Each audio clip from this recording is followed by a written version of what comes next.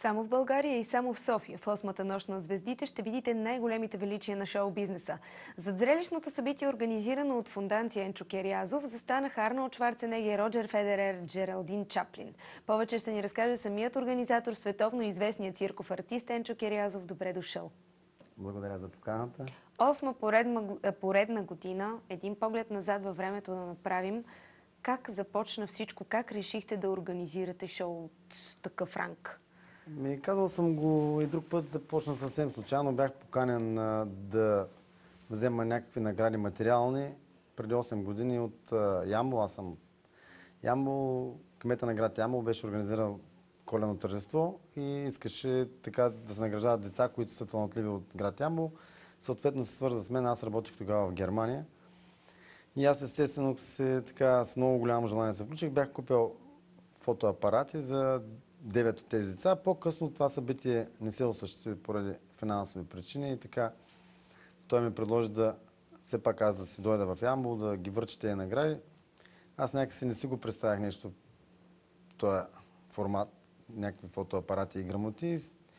Знаех, че няма кой да дойде да ги види тези деца. Това беше основно, защото yeah. съм тренирал спортна акробатика много дълго време и знаех по време на такива състезания публика се събираше главно от баби и дядовци някоя майка, евентуално. И така никак не ми се искаше да бъде точно този формат, защото това е супер демотивиращо и за тази цел така поканях хора, които са ми много близки приятели и тогава, които са местни, Славка Калчева, така добре позната, Сирма Добрева, танцови школи по различни танци, латиноамерикански танци, народни танци, така се сформира много така малък някакъв концерт, като съответно поканяхме хората от бизнеса в града да присъстват и ако искат, нали, и те да се включат с някаква парична или материална награда. Така, това беше първата година. След това съответно не можах да се дойда в България, защото не бях го планувал. Цялата организация ставаше дистанционно. На следващата година вече си планувах времето, учили се фундацията и това го направихме в спортна зала Диана. Така почнаха първата нощ на звездите. А всяка година се случва нещо различно. Тази година, кое ще бъде различното от миналата?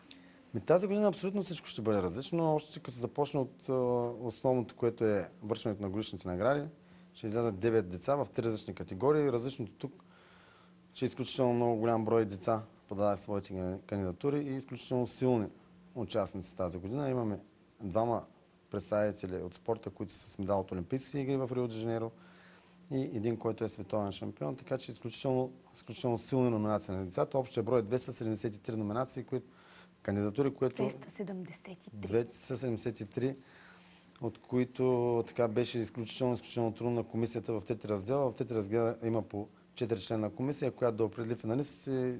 Много трудно на действително е тази uh-huh. задача. И Следващо, всичко, всичко останало, което ще видят а, зрителите, които са били на предходната година, абсолютно всичко е ново.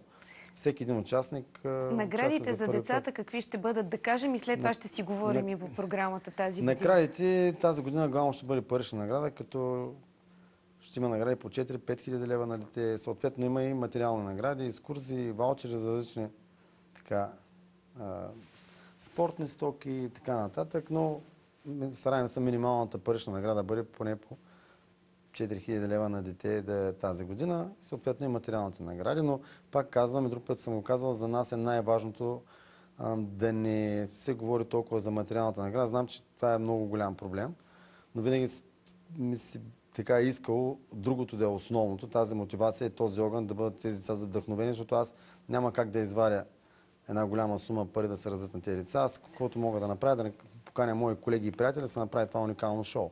От тук нататък каня всички бизнесмени и хора, които искат да се включат. Децата много отдавна са на сайта, вече е невъзможно, но следващата година така да направят дарения, да се включат и да подмогнат тези млади таланти. Именно затова ги приканвам в Арена Месен такъв уникален спектакъл. От наша страна имат уникалното шоу. Да.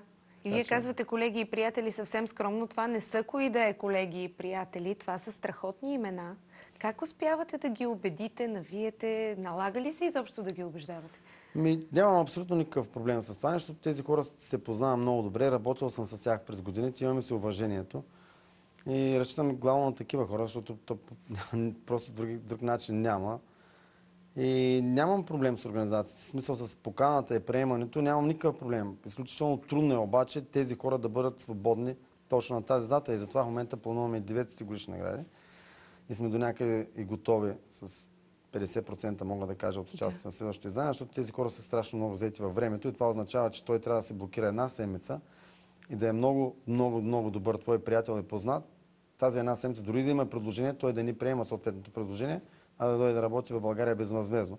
Значи мога да се представите въпрос за какъв тип хора става въпрос, но то при тях малко така хората е действително много интересно. Аз си го обяснявам, понеже вече толкова, толкова много години, не на последните 4 години работя и канят именно такива хора. За тях не е много трудно, защото те, както казваме, България се е навил на масрафа и една седмица дали няма да работи или ще работи, не е проблем. Проблем е ако покани средна клас, среден клас артист, няма как да приеме това участие, защото той чака едно участие в, в месеца и с това да се изхранва семейство или да се покрива нужди. Той не може да участва в нощта за езици по принцип, защото той няма как да ми каже до година, на 20 марта 9-то награждаване, той къде е. Той няма как да го знае. Една седмица ли отнема подготовката и репетициите за цялото зрелищно шоу, защото вие казахте, трудно е да ги съберем заедно само за една седмица. Това, което виждаме, плод на колко Това, което виждате е плод на годишен труд а, от наша страна като организатори, но самите артисти точно една седмица. Ще ви кажа защо, защото имаме а, това са главно хора, които са в чужбина, тази година имаме хора, които идват от Съединените Американски щати, имаме хора, които идват от Мексико, да. имаме хора от Италия, от Швейцария, така че а, транспорта на самите реквизити, установки, това става по, по суша. И тези неща отнемат два дни транспорт. Днеска преценяха камионите, които някои от нещата с а, фонтаните, водните са от Дюселдоров. Чакаме малко по-късно да дойдат така други реквизити, които използваме от Германия и затова е толкова време отнема. Действително, репетициите реално почват в, в, на 21 започват репетициите на терен. Да ни разкажете малко повече от а, основните изпълнения, които ще може да види публиката в шоуто. Победителите от последния фестивал в Монте Карло, какво ще представи? Ами, ще ви кажа това първо, искам да, така, да обясня на вас, на зрителите, да. изключителен жест към а, тези двама циркови артисти, които са от Чехия. Победители са от последния фестивал Монте Карло, правят номер Перш Дуоща Алберти. Какво Перш значи? означава, а, това се изпълнява двама акробати, като има долен основа и над него а, също акробати изпълнител. Това са мъж и жена, Да. като мъжа държи един огромен така перш, като да го обясня, перш е като прът овчар, за овчарски скок, нещо подобно, само че не, се, не е толкова гъвкав и на него се изкачва артист и прави на различни акробатични изпълнения. Това е нормалното и стандартното при Дуо Шталберти. Защо получават сребърния клон от принцеса Стефани? Основата, която е долу, портерът е на колело, унисайкъл, това е едно колело на една гума. В същото време той балансира това колело и не само това, жонглира с пет бухалки, докато партньорката му изпълнява стойка на ръце на 8 метра височина, изключително сложен номер и заслужено побеждават в фестивал Монте Карло. Интересното тук е, че този номер обикновено човек, когато спечели толкова престижна награда, буквално за 5 години напред е ангажиран. Сами изявиха желание да участват. Аз никога не бих посмял да ги поканя, защото знам какво се случва след получаването на тази награда, къде ти отиват хонорарите. Но огромен жест, защото се оказа, че Дмитрий, това е основата отдолу, е с български корени. Баща му е роден в град Карнобат. Дмитрий никога не е бил в България и изяви огромно желание така и е чувал от наши други колеги и приятели, които са били тук в България и изяви желание да дойде в България да изпълня негова номер, като една седмица не само, че не е взимал участие, участие, но той спира да работи за една седмица в най-голямото пътуващо шоу в Европа. Това е циркуна с 5000 места.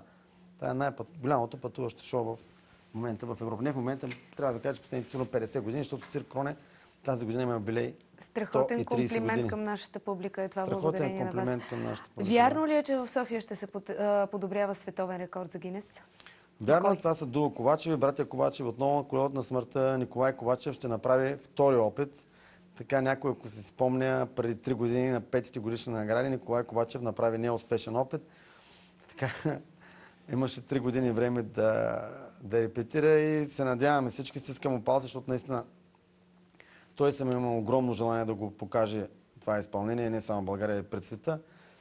Наистина му се скампал се, малко съм притеснен тук, защото според мен той трябваше да, да се представи салтото, предно салтото, защото той е единственият европеец, който прави предно салто на външната страна на жестоколот. Няма такъв на човек с такова изпълнение. Сега този пирует, който никой не го е правил, защото предно салто има доста акробати от Колумбия. Това е специфичен за тях номер, го изпълняват. От Мексико европейци няма, но Николай иска просто да покаже на колумбийците, че е по-добър от тях. Стискам му палци и се надявам да няма никакви така падания и някакви травми. И най-бързите транс- трансформисти ще можем да видим. Точно така, това са дуоменасови. Дуоменасови, най-бързи трансформации в света. Ще бъдат в България уникален номер, специално за жените. Ще направят едно така показно. В кръга на шегата, естествено, как буквално за минута могат да се облекат над 25 различни вида костюми от а, две различни епохи. А, престъпно добри манипулатори, изключително добри. Изключително добри. Буквално пред зрителите на публиката. Ще могат да видят едно уникално шоу. А вашето изпълнение? Моето изпълнение ще остане в а, така, тайна до 23 март. Подготвил съм нещо изключително интересно за първи път. Доста по-различно от...